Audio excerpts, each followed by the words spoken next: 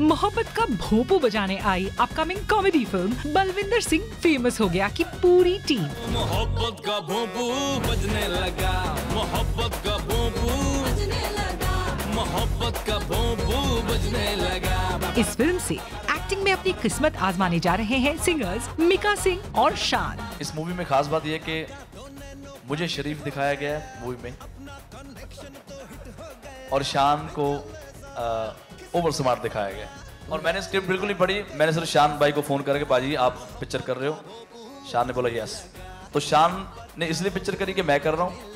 और मैंने इसलिए फ़िल्म करी कि और आज तक दोनों को कहानी नहीं मालूम पिक्चर कहानी- the best part is that ओ आज चल तेरी मेरी बैट लगी। अरे छोटे मुझसे करता है क्यों बातें बड़ी?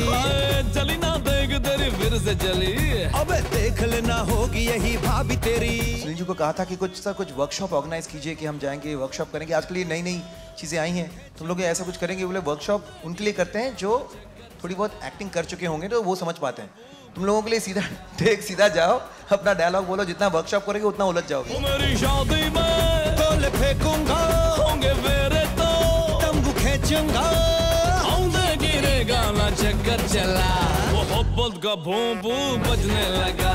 मिका जो कि अपने मस्त मौला अंदाज के लिए जाने जाते हैं इस इवेंट में भी काफ़ी मस्ती के मूड में नज़र आए। और वैसे शान बहुत अच्छी एक्टिंग करते हैं स्पेशली अपनी वाइफ के सामने।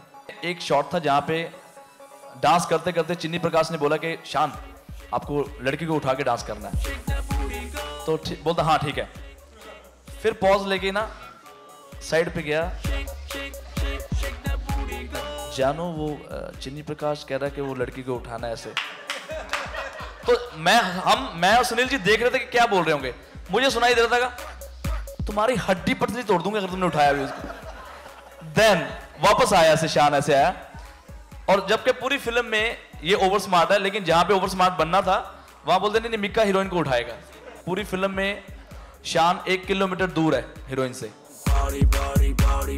वैसे यहाँ इस फ़िल्म का म्यूज़िक लॉन्च होना था चीफ गेस्ट बिग बी के हाथों जो अपनी पंक्चुअलिटी के लिए जाने जाते हैं लेकिन इस इवेंट पर बिग बी थोड़ा देर से आए और ज़्यादा वक्त जाया ना करते हुए बिग बी ने म्यूज़िक लॉन्च की फॉर्मेलिटी पूरी की और एक क्विक विश देकर चलते बने मोहब्बत का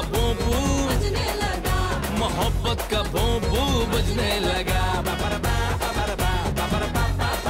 अभी तक तो अ, अ, गाने की महफिल जमा करती थी मीका जी की आवाज़ से। अब फ़िल्मों में भी देखने का अवसर मिलेगा। तो एक और कंपटीशन खड़ा हो गया हमारे सामने। लेकिन हद तो तब हो गई जब इस इवेंट की दूसरी गेस्ट सनी लियोनी ने इवेंट खत्म होने के बाद एंट्री ली। और शायद ये बात सनी के क्लोज फ्रेंड मीका को भी काफ़ी खराब लगी होगी।